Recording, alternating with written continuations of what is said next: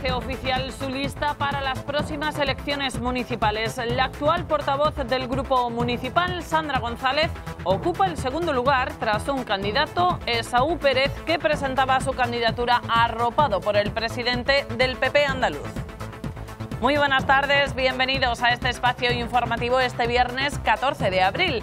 En el acto de presentación de la candidatura, el candidato popular esbozó las principales líneas de actuación que quiere desarrollar en Alcalá. A continuación las conocemos, pero antes, nuevos acuerdos de gestión urbanística en Monte Carmelo, primeros contratos de la feria y subvenciones para las actividades de formación deportiva han sido algunos de los puntos aprobados en el orden del día de la Junta de Gobierno de este viernes.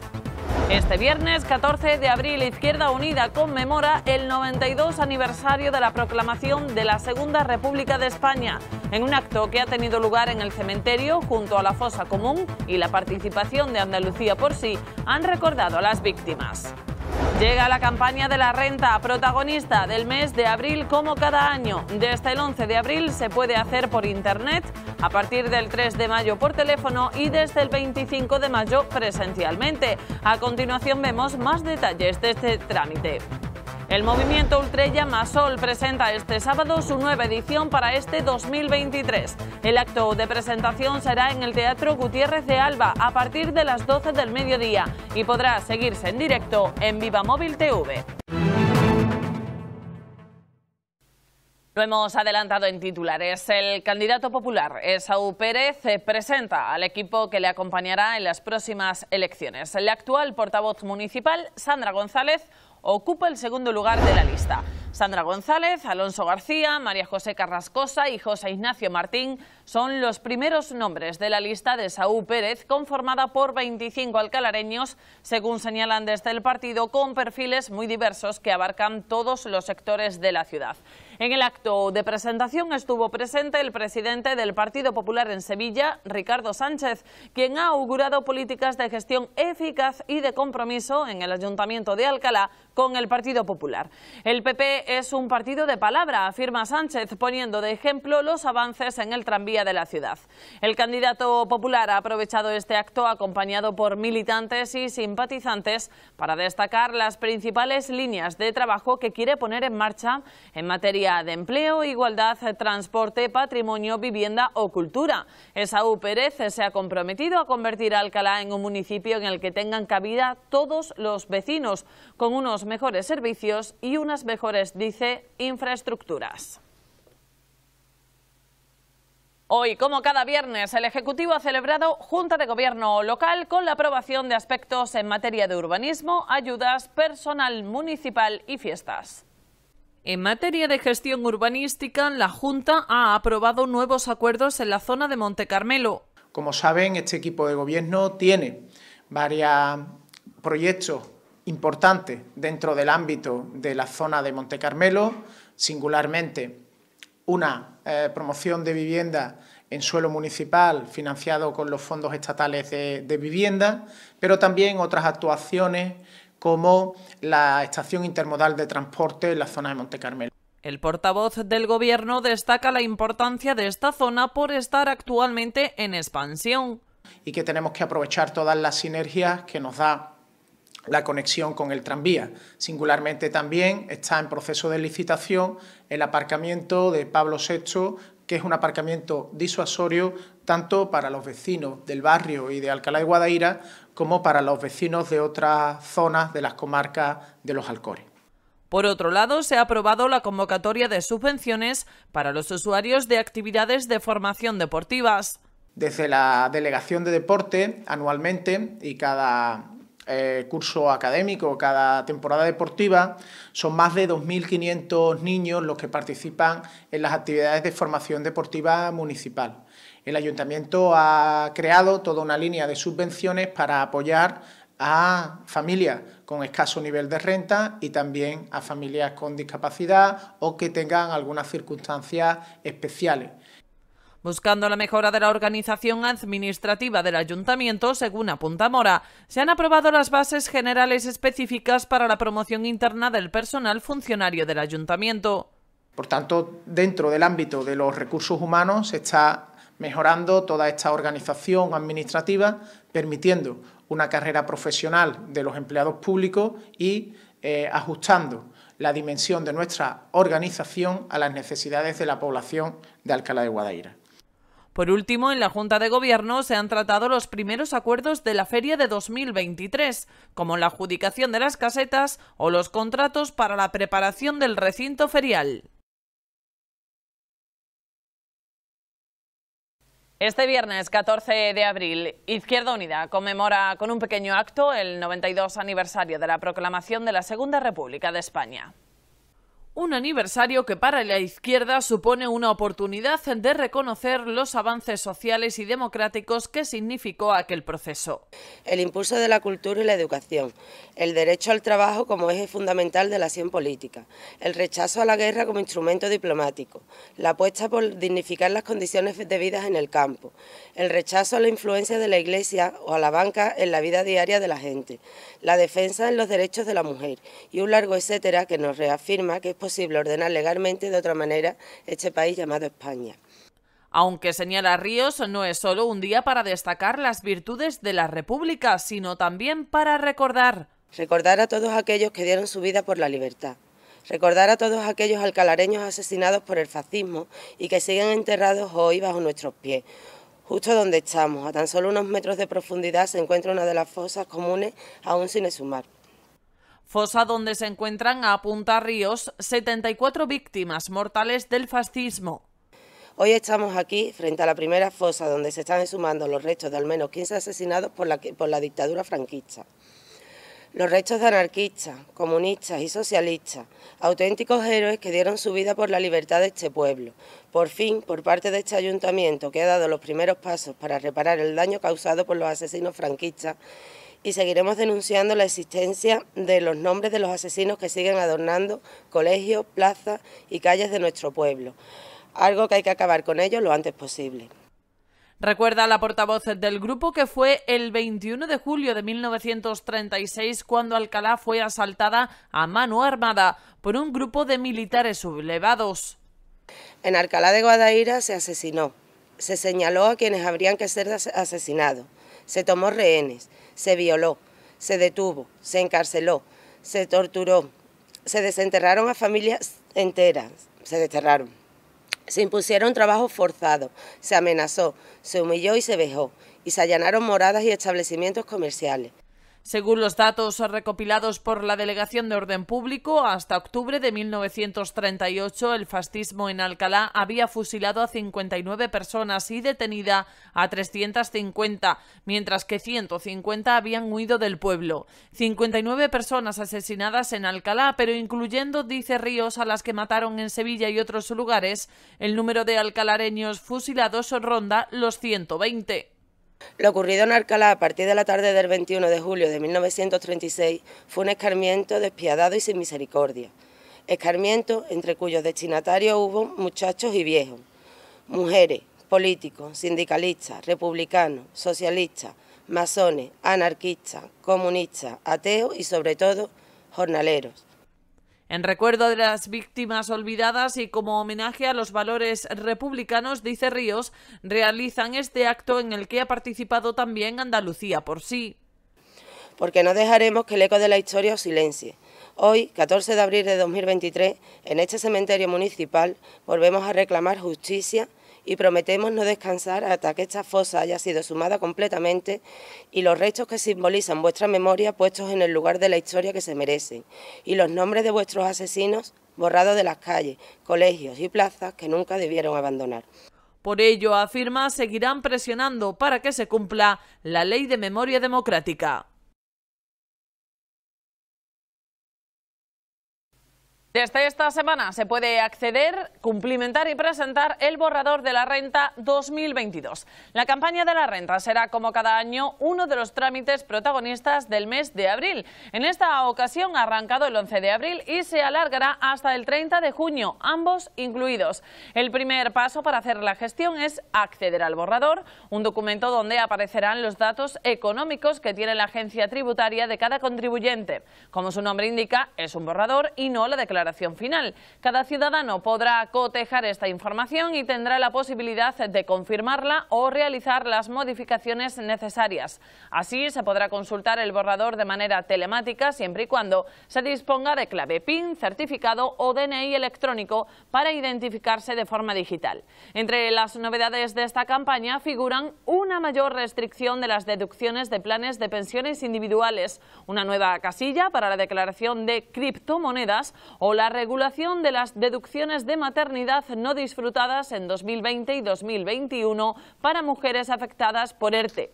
En cuanto a los plazos, desde esta semana se puede presentar por Internet, desde el 3 de mayo por teléfono y desde el 25 de mayo presencialmente. El movimiento Ultrella Masol presenta este sábado su nueva edición para este 2023. Una expedición que partirá desde Alcalá de Guadaira y que llegará hasta el monasterio de Santo Toribio de Líbana, en Cantabria. El acto de presentación de la cuarta edición del movimiento tendrá lugar este sábado 15 de abril en el Teatro Gutiérrez de Alba a partir de las 12 del mediodía. El 1 de julio, sábado, salimos del Puente del Dragón, como ya viene siendo costumbre, un lugar muy señalado porque tenemos un elemento muy moderno que es el dragón, pero también el recuerdo del pasado que es el castillo. Y ese 1 de julio, etapa primera, Alcalá, Guadalcanal. Guadalcanal, Buena, Guadalupe, Madrigal de las Altas Torres, Cervera de Pisuerga, Poza de la Sal y Molledo serán las localidades por las que pasará la expedición en este 2023 hasta llegar al monasterio de Santo Toribio de Liébana. En el monasterio donde se, guarda el trozo de la cruz de Cristo más grande de la cristiandad. Y como pista os digo que este año se llama Épico Ultrella Masol que lo de épico, como lo presentamos en Fitur, tiene mucho que ver con los finales de etapa.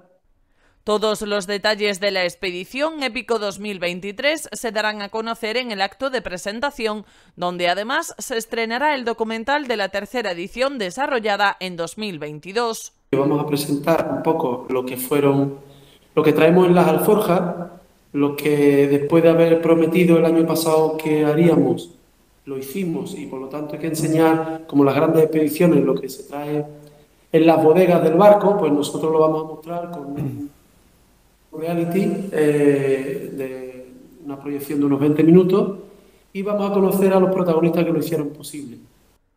Además, el acto contará con varias actuaciones musicales como David de Pineda, Elsa Blanco y la Asociación Coros y Danzas Cristo de la Antigua de Piedrabuena. Todo lo que participamos lo hacemos porque se han conjugado unos elementos, unas variables que son ganadoras. El hecho del reto físico, el ciclismo es ganador, el hecho de que ayudemos a la España rural, eso es ganador, el hecho de que ayudemos solidariamente a las asociaciones que trabajan por mantener la vida en esos pueblos, eso es otra variable ganadora. entonces, si tú sumas todas las personas que hay en esos pueblos organizando las llegadas, que son asociaciones, ayuntamientos y embajadores, más todo el staff que estamos detrás para llevarlo a cabo, eh, más los propios embajadores, pues no sé contarte, muchísima gente. La bailaora Tere Vázquez, la Debla y el artista alcalareño Juan Manuel Mantecón colaboran con el movimiento en la presentación de este sábado. Dicho acto podrá seguirse en directo a través de Viva Móvil TV.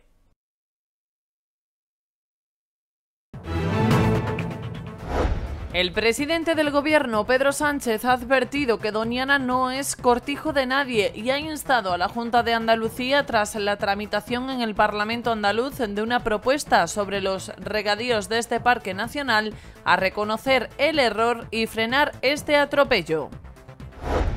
Funcionarios de vigilancia aduanera de la agencia tributaria a bordo de un patrullero con base en Almería han aprendido casi 4 toneladas de hachís repartidos en 108 fardos tras la persecución a una narcolancha en el mar de Alborán frente a las costas de Adra, Almería, y han detenido a cuatro personas. La deportista de élite, alpinista y escaladora Beatriz Flamini ha abandonado este viernes la cueva en la que ha permanecido sola durante 500 días a 70 metros de profundidad, cumpliendo así el reto que se propuso cuando decidió vivir este desafío personal que ha definido como excelente e insuperable. El Gobierno ha llegado a un acuerdo con Unidas Podemos, RC y EH Bildu para introducir en la ley de vivienda un tope del 3% en las renovaciones anuales de los contratos de alquiler en 2024, mientras que en 2025 se creará un nuevo índice más estable e inferior a la evolución del IPC. La inflación española se moderó el 3,3% interanual en marzo, 2,7 puntos por debajo de la tasa de febrero por el descenso de los precios de la electricidad y los carburantes, frente a las fuertes subidas de marzo de 2022 tras el inicio de la guerra en Ucrania. Según el dato confirmado este viernes por el Instituto Nacional de Estadística, el índice de precios de consumo, el IPC, marcó así en marzo la tasa más baja desde agosto de 2021. La Unión General de Trabajadores ha reclamado ajustar las rentas salariales al coste actual de la vida tras conocer el dato confirmado del IPC de marzo, cuya tasa general se situó en el 3,3%, un retroceso de 2,5 puntos respecto a febrero que el sindicato considera muy insuficiente.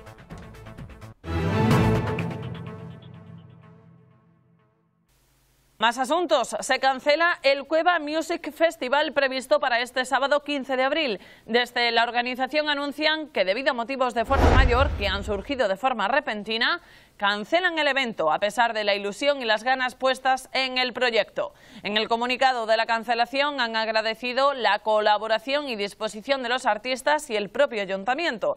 Los promotores afirman que se les devolverá la entrada a todos aquellos que la han obtenido. Lo que sí se celebra este sábado es la gran fiesta infantil de la primavera organizada por la Asociación Amigos de los Reyes Magos de nuestra localidad. En esta fiesta infantil tendrá lugar en el patio del convento de Santa Clara a las 12 del mediodía con la actuación de Toma Castaña, con títeres y magia cómica en directo. Un espectáculo acto para todos los públicos y que hará pasar un buen rato a todos en familia. Las entradas tienen un coste de 2 euros por adulto y 1 euro para niños de 3 a 10 años y podrán reservarse previamente por WhatsApp o adquirirse directamente en la puerta del mismo día del espectáculo. Los beneficios de la venta de las entradas irán íntegramente a beneficio de las hermanas Clarisas. Este sábado 15 de abril también tendrá lugar el acto de presentación del cartel de las Glorias de María, organizado por el Consejo de Hermandades y Cofradías de la localidad. El evento se desarrollará en el Teatro Gutiérrez de Alba a las ocho y media de la tarde de este sábado. En esta edición está dedicado a la Hermandad del Rocío, dentro del turno rotatorio establecido por el Consejo y es una obra de Isidoro Villalba Corzo. El pintor alcalareño fue designado el pasado mes de julio para realizar la pintura para el cartel de las Glorias de Alcalá 2023, tras el acuerdo de la comisión mixta formada por miembros del Consejo General de Hermandades y de la Junta de Gobierno de la Hermandad que lo protagoniza. Llega el momento de conocer los estrenos de películas para este fin de semana. Aventura, terror y comedia son algunos de los géneros que llegan a la gran pantalla. El fin de semana ya está aquí, con él las salas de cine se renuevan una vez más con las últimas novedades de las películas que llegan a la cartelera este viernes 14 de abril. Entre todos los títulos que se estrenan en la gran pantalla destacan Los Tres Mosqueteros de Martin Bourboulon. D'Artagnan, un intrépido joven, es dado por muerto tras intentar salvar a una joven de ser secuestrada. Cuando llega a París, intenta por todos los medios encontrar a sus agresores. Sin embargo, ignora que su búsqueda le llevará al corazón de una guerra en la que está en juego el futuro de Francia, juntamente con Athos Portos y Aramis, tres valientes mosqueteros del rey, D'Artagnan se enfrenta a las oscuras maquinaciones del cardenal Richelieu. No obstante, es cuando se enamora perdidamente de Constance, la confidente de la reina, cuando D'Artagnan se pondrá realmente en peligro, pues esta pasión le llevará tras la pista de quien se convertirá en su gran enemiga. Son siete y nosotros tres. Yo veo que somos cuatro. Y si mejor lo matas, es muy molesto. La rivalidad entre nuestras tropas es ridícula. Controla a tus soldados y yo controlaré a los míos. Inconveniente? Muerto y enterrado. No podemos permitir eso. Él es inocente. ¿Quieres que le declare la guerra a los protestantes? ¿Y a Inglaterra? El cardenal hará todo para derrocar a la reina. Chris McKay nos trae la película de terror Renfield. Es el torturado asistente del vampiro más narcisista de la historia, Drácula. Renfield se ve obligado a procurarle víctimas a su amo y hacer todo aquello que éste le ordene por inmoral que sea. Pero ahora, tras siglos de servidumbre, Renfield está listo para descubrir si hay vida lejos de la alargada sombra del príncipe de las tinieblas. El problema, que no sabe cómo romper esa relación de dependencia. No necesitan chasquearlos.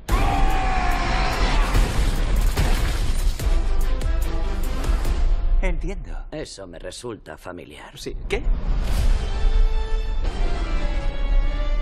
Renfield, tráeme víctimas inocentes. Quiero unas cuantas monjas, un autobús lleno de animadoras. Yo solo quiero volver a tener una vida normal. Pero el mundo de hoy es un lugar peligroso. Y la película española llega de la mano de David Márquez en temporada baja. Alberto es un otrora exitoso representante de futbolistas que malvive en un camping a las afueras de Valencia. Un día conoce a Charlie, un policía divorciado que duerme en el trabajo mientras trata de reconquistar a su exmujer. Alberto instala a Charlie en el camping y les presenta a sus amigos. Entre todos intentarán apoyarse en una supuesta camaradería. Está en paro pero porque quiere. Y este es Martín, que no sabemos a qué se dedica. ¿Cómo que os lo voy a contar? Si vale 7.000 y si lo vendo por 3.000, pierdo 4.000. A mí es que me gustaría no perder nada. ¿Os gusta el fútbol? Bien, Bugallo, bien, bien, bien, bien. ¡Gol! ¡Gol! Has visto que a frutos ya lo tenemos en el bote, ¿eh? Y aquí estoy dando tumbos con mis pobres hijos. La solución a tus problemas la tenemos nosotros. Vengo de parte de Alberto. ¿Qué Alberto? No sé su apellido. Está guapísima. Que me da que lo que vas a querer es gordo. Hasta aquí las noticias de hoy. Volvemos de nuevo el lunes, como siempre. Gracias por estar ahí. Feliz fin de semana.